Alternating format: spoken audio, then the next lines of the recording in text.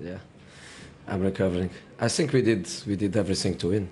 Um, I know when we score, minute 90 something, we always speak about a bit of luck, a bit of a star behind us. But I think the reality is that we deserve because, especially in the second half, we were so dominant. We were so intense in our rhythm, in our in our attacking wave that I always believe that sooner or later the goal would arrive. But I, I have to say that. Uh, well, City did an amazing job. They defended with, with everything. Uh, they couldn't counter-attack because we, I think we played very well defensively. Every time we, we lost the ball, we were really, really strong.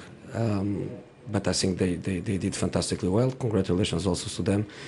And if I was the, the, the, the chairman, I would give immediately the job to, to Mike Phelan because he's in, in the eyes of everyone that the players are giving everything. The players are with him. The players they cannot do more than, than what they did. So congratulations to Mike and, and, and to the old boys.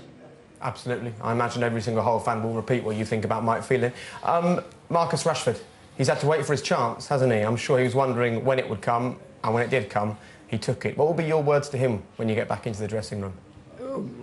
Well, a big smile and a big hug, uh, and I think he's I think he's enough. He's, he's working extremely well, and both